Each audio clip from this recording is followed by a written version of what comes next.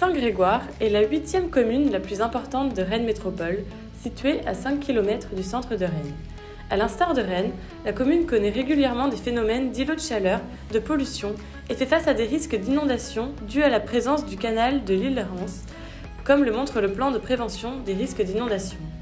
La question de l'adaptation du territoire à l'horizon 2050 se pose donc.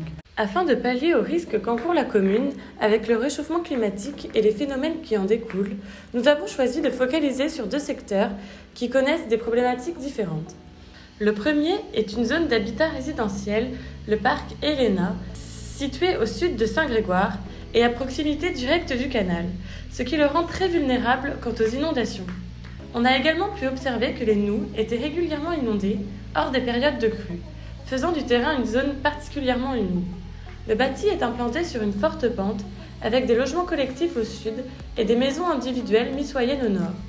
Les espaces publics sont végétalisés et des aménagements paysagers comme des noues ou des bassins de rétention permettent une gestion des eaux pluviales. À l'horizon 2030, l'enjeu est ici de pouvoir adapter l'habitat à des aléas climatiques plus extrêmes, à savoir l'intensité de la pluviométrie et les risques d'inondation liés aux crues et aux remontées de nappes.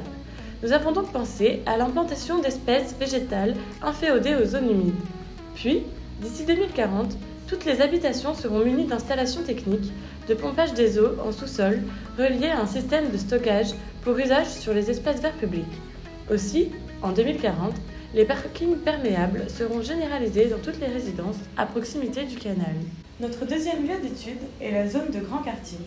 Du fait qu'elle soit une zone d'activité, elle est au cœur des problématiques liées à la formation des îlots de chaleur et représente une zone intéressante pour introduire de la végétalisation et des systèmes de récupération d'eau pluviale. Une visite de terrain nous a permis d'identifier des espaces végétalisés, mais présentant souvent une